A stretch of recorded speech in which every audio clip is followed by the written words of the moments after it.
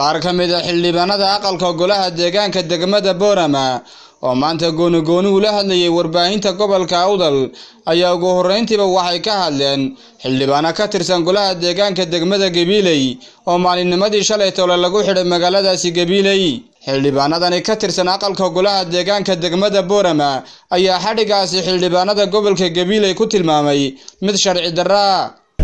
Xildhibaanada degmada gabiley mooshinka ay maayirka keeneen ee lagu xidhay. Qodobka waxaan u arkaa qodob sharci darra oo xaaraanaan u arkaa anigu.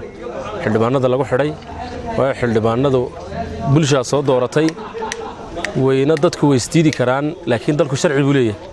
Sharciga dalka in la ixtiraamo hadduu madaxweyne yahay hadduu wasiir yahayba sharciga dalka u yaalla in la ixtiraamo oo ma maalinba sharciga ama waxa masiirku maskaciisa ku soo dhaxa uuna dadka ku xukumin hadduu waddanka maxere militari buu ka wada dhigi.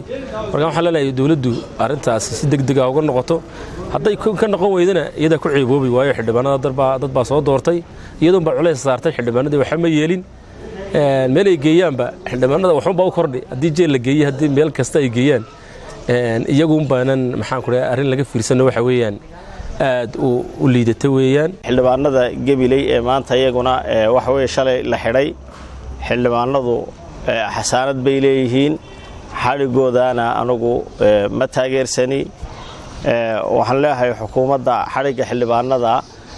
Waxa weeye hoosa loo eego caaladda ha laga wada xaajoodo ha la isku soo noqdo. Maayiradana yaanan xildhibaanada dee waxa weeye yaanan lugaha loo qabanin loogu duubin lugahe dee waxa weye raggu kolka isqabtaan waa la kala qabtaaye. Haddii dee nimanku ay maayirka isqabteen arrintooda ha losa loo eegaan leh geesta kalena waxay xildhibaanadan ay markowgii ka hadleen. Xeerka ismaamulka degmooyinka gobollada jamhuuriyadda somalilan ee ay dhowaanta ansixiyeen badi xildhibaanada golaha wakiilada jamhuuriyadda somalilan waxaana xeerkaasi ay ku tilmaameen mid baalmarsan degmooyin badan oo ka tirsan gobolka awdal waa siday hadalka u dhigeene marka hore horta degmooyinka goluu ansixiyey ee lagu soo daray tirada aad iyo aad baan uga qawadsannahay haddaan nahay shacabka ama maxaanku dhahay xildhibaanadii golayaasha galbeedka.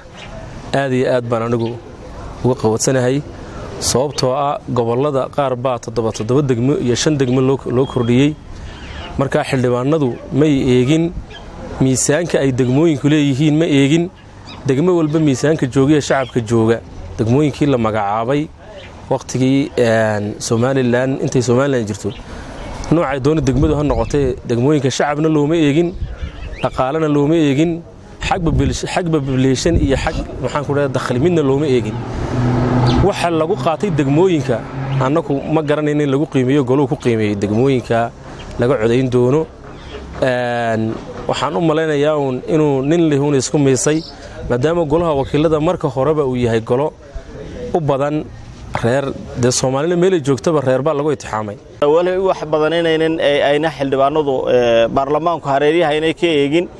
Degmooyin badan oo waxa weeye maanta cod ahaanna isku filan risoos ahaanna isku filan oo waxa weeye degmanimo buuxinaya oo degmooyinna oo in hoos loo eega ahaydoo khaasatan weliba waxa weeye gobolka awdal degmooyin badan baa jira oo in waxa weeye lagu dara ay ahayd sida garbadadar calixaydh boon meelo badan oo muhima waxa weeye iyada lafteeda xariirad degmooyinka u baahnaa in iyagana aad loo eego ay hareeryaha ka eegaan oy gobolka awdal degmo keli hatay baa soo biirtay oo waa dila waa sax waan taageersannahay waa cimraan xuseen aadan wararka muuqbaayaha telefishanka caalamiga star t v borama